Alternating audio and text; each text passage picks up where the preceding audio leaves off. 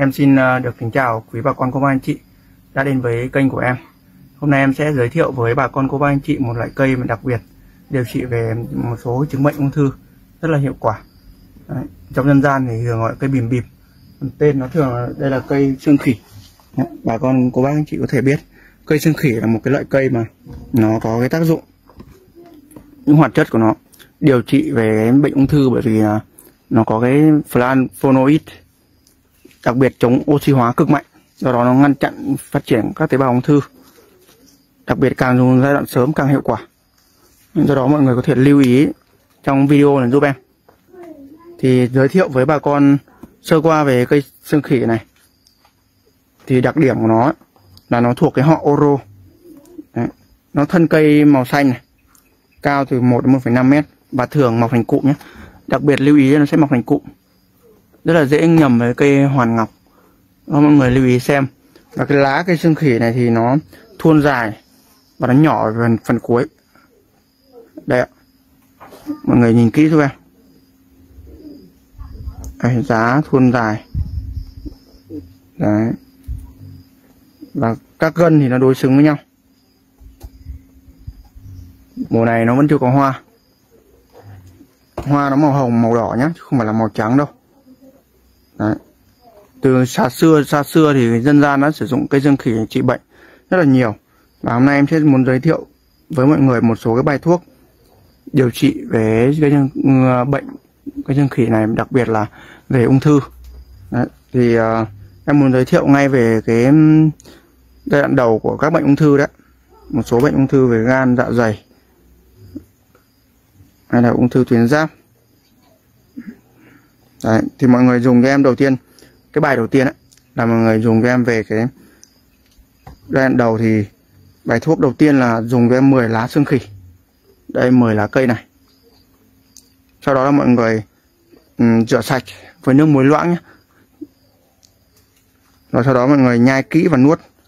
Mỗi ngày mọi người dùng cho em khoảng 5 lần. Và duy trì trong 3 tháng nó sẽ giảm các cơn đau này hỗ trợ điều trị về cái ung thư rất là tốt. Ừ, trường hợp mà bệnh lý kéo dài mà nặng có thể dùng đến 15 lá một ngày cho em. Về cái bài thứ hai nó hơi phức tạp một chút thì mọi người phải phối hợp. Thì đặc biệt vẫn là chủ yếu là về cái uh, cây xương khỉ này thôi. Mọi người dùng em 30g cái cây xương khỉ này cả lá và cây này. Thì mọi người chặt ra. Đây rồi sau đó là mọi người có thể dùng 20g cái hoa đu đủ đực nhé. Tiếp theo là mọi người lại dùng cho em thêm 30g cây xạ đen. Em đã có một video giới thiệu về cây xạ đen cụ thể rồi. Mọi người thể phân biệt được. Đó. Và cái hỗn hợp này mọi người lấy cho em là 1,5 lít nước. Ba cái vị này rất là dễ kiếm cũng không khó đâu. 1,5 lít nước và đun cạn còn khoảng 1 lít. Thì mọi người dừng. Và khi đun sôi thì để lửa nhỏ liu riu nhé không để lửa to. Chia nước uống hàng ngày. Uống sau ăn cho em. Đấy. Bệnh tiếp theo muốn giới thiệu mọi người tác dụng đặc biệt của cây xương khỉ là về điều trị về viêm gan và sơ gan, vàng da. Đặc biệt là những bệnh nhân mà có uống rượu bia, nhưng đồng thời cũng phải chế độ ăn uống kiêng rượu bia hợp lý. Bài đầu tiên là mọi người dùng cho em cái 30g cây xương khỉ này. Và 15g cái chân bì. 20g dâu ngô. Và 10g sâm đại hành. Thì nếu mọi người kiếm được sâm đại hành thì nó cũng dễ kiếm thôi. Còn không thì có thể dùng dâu ngô và cây xương khỉ được. Đấy, sau đó mọi người cho 1,5 lít nước. Đun sôi cạn còn một nửa. 800ml là mọi người có thể lấy ra uống được rồi. Uống trong ngày giúp em nhé. Tiếp theo nhé về cái bài thuốc chữa ho hay và hiệu quả. Đấy. vì nó có cái hoạt chất và tính đề kháng rất là mạnh. Nó có thể gây ức chế và tiêu diệt virus vi khuẩn. Đặc biệt là virus ờ, viêm phế quản đấy nên mọi người bị ho khan này ho uh, gió hay là ngứa cổ mệt mỏi đau đầu ấy, dùng cho em 8 cái lá cây xương khỉ này. Rửa sạch, nước muối loãng nhé, để ráo. Mỗi lần thì dùng cách nhau một giờ thôi. 8 hoặc 9 cái. Thì mỗi lần dùng 3 lá đi. Là lấy 9 lá. Nhai. Sau đó nuốt. Tiếp theo, nó điều trị về bệnh đau dạ dày. Cũng cực kỳ hay và hiệu quả. Thì mọi người dùng cho em cái lá cây xương khỉ này một ngày dùng khoảng à, 9 lá. Ăn 3 lần. Rửa qua với cái nước muối loãng nhé sau đó ăn với một, hai cái hạt muối hột, muối tinh. Nhai kỹ và nuốt. Đặc biệt sẽ cũng rất là hiệu quả. Với bài thuốc tiếp theo là về trị phong thấp ấy. mọi người dùng 30g cái cây bìm bìm này, tức là cây xương khỉ này. Rồi tiếp theo là cái tầm gửi cây dâu. Dâu tằm ấy mọi người cho em khoảng 1,5 lít nước và đun cạn còn 800 ml là lấy ra uống trong ngày rồi. Đấy. với bài thuốc mà trị cái gai cột sống hay là đau nhức thoái hóa cột sống thắt lưng thì trong thì uống. Ngoài mọi người có thể đắp. Lấy cho em cái 80g cây xương khỉ này. Đấy, và 50g cái ngải cứu. Mời tất cả giã nhuyễn đi. Xào nóng với giấm nhé dấm giấm ăn ở nhà. Sau đó mọi người đắp vào vị trí đau cố định lại cho em trong vòng từ 18 đến 24 tiếng. Đặc biệt là hoặc là nếu mà có thể bận hoặc là vương víu có thể đắp từ lúc ừ, sắp đi ngủ đến lúc sáng hôm sau. Mọi người làm từ 5 10 ngày sẽ cảm thấy hiệu quả rất là rõ rệt. Bài thuốc hay của nó tiếp theo là về trị bong gân hay là đau nhức xương. Mọi người dùng cho em cái ừ, cây bìm bịp cũng lấy khoảng 80 gram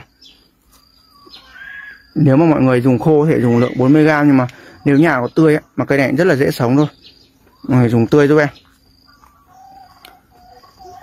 Rồi sau đó là mọi người dùng thêm với ờ, cái ngải cứu là 50 g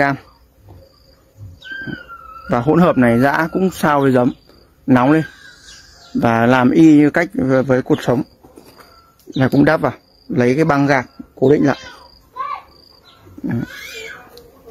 tiếp theo là bài này hay này. Mọi người có thể nhớ giúp em là về chữa bệnh trí. Cực kỳ hiệu quả và hay. Lại đơn giản dễ làm. Dùng 7 đến 10 gram cái lá cây sương khỉ này. Đây 7 10 gram lá này. Rồi mọi người uh, có thể là đem rửa sạch nhé.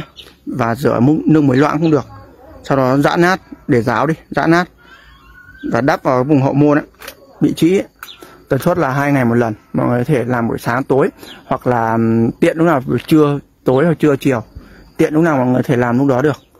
Nó không ảnh hưởng quá nhiều đến đến công việc sinh hoạt của mình nên là không, không lo. Đấy. thì bài thuốc cuối cùng em muốn giới thiệu mọi người ấy, là về uh, chủ yếu là về cho chị em nhiều. Bài lở loét về sẹo lồi và hạn chế mụn.